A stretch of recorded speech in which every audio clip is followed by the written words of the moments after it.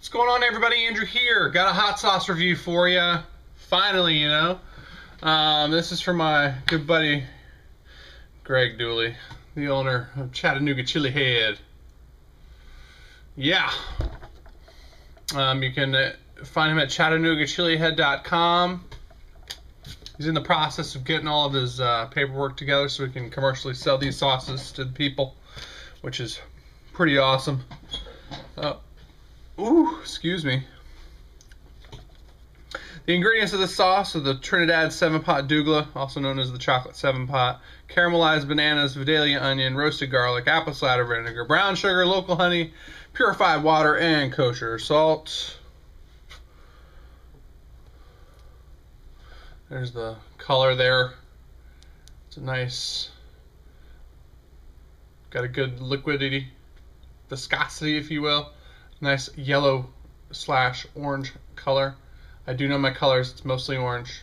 It's, got, it's more orange than yellow, but it's in the yellow, yellow going towards the yellow region more than red. So let me give it a good shake. My nice ceramic knife.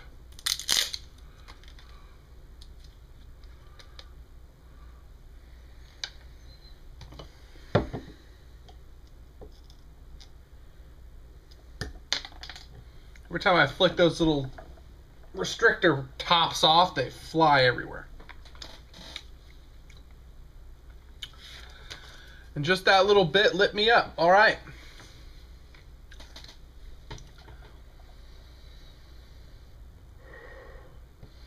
You can smell the onions and the garlic.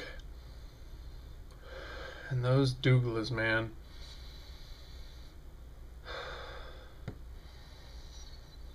Really appreciate you sending this to me, Greg. I, I mean,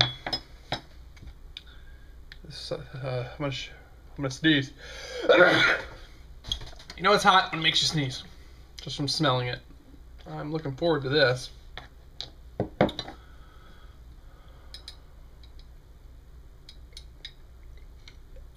Greg is known for making um, gourmet sauces in small batches. He does a lot of fermentation with his sauces as well, so uh, to give them a to the right pH before he passes them out. Um, nice big spoonful. I'm gonna spill it if I go too long.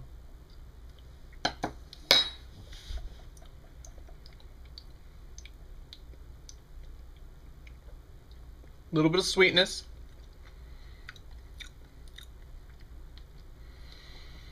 That seven pot gets you good. A Douglah, those things are brutal.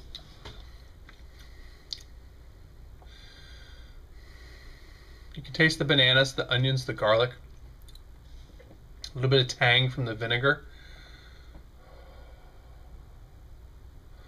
The Douglah gives you pretty much an overall mouth burn. If you have a lot of it, it'll get you in the throat.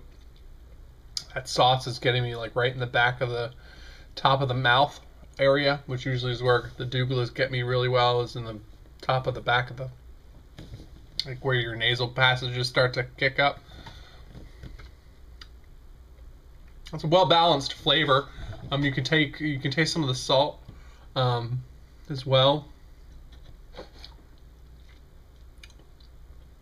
The bananas, I, I thought they would have been more overwhelming, because bananas usually have an overwhelming uh, sweetness and flavor to them, but when you ferment them, they lose some of the sweetness and they lose some of uh, their prominent flavor, and it brings a like almost like a somewhat. I mean, you caramelized them, so then those sugars tend to break down when you caramelize someone something it brings out the sugar but then when you ferment it it, uh, kind of breaks them down even further, and it kind of gives it like a smoky. Um, I mean, it's almost like a bourbony type flavor. Um, is the only thing I can equate it to, um, because you have the smokiness from the caramelization um, and, and those sugars that are being picked up when you're fermenting, it kind of brings it all together. Like when you're aging a bourbon or a whiskey, you age it in a barrel, and the barrels are usually burned on the inside to pull out the sugars from the wood and the caramel notes in the wood. So that's kind of what I think is going on here with all the.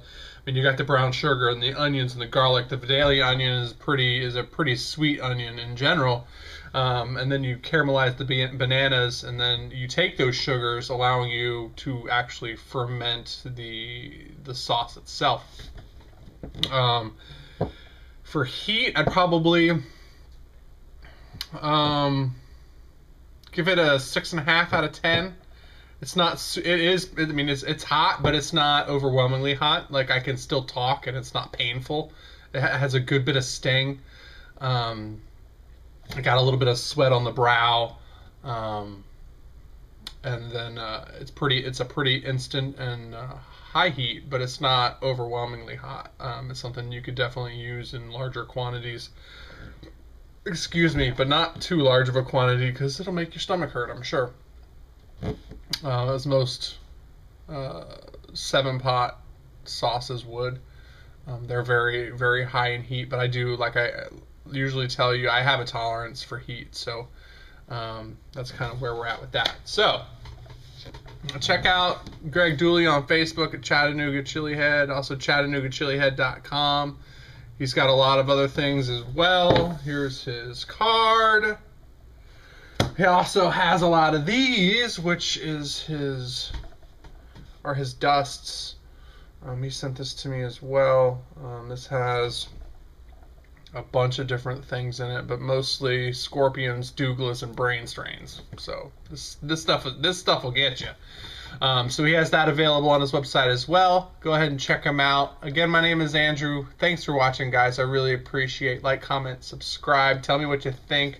Over here, we're always trying to kick the heat up a notch, and this will definitely do it. So, see you on the next review, guys. Thanks. Have a good one.